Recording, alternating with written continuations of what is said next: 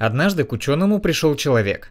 Говорит, мол, скажите, это правда, что в Коране ответы на все вопросы? Шейх говорит, да, на все. Человек говорит, ладно, хорошо. Если в Коране есть ответы на все, ответьте мне вот на это. Сколько пшена понадобится, чтобы испечь столько-то, столько-то хлеба? В Коране же на все ответы. Шейх такой, мол, ладно, подожди. Пошел к местному пекарю, спросил насчет этого. Тот ответил, он возвращается, говорит, вот столько, понадобится пшена.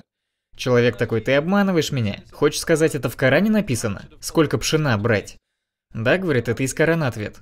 Ответ в том, что Аллах в Коране говорит Спросите обладателей знания, то есть тех, кто разбирается в той или иной сфере, если сами не знаете. То есть Аллах говорит, если не знаешь чего-то, спроси у знающих.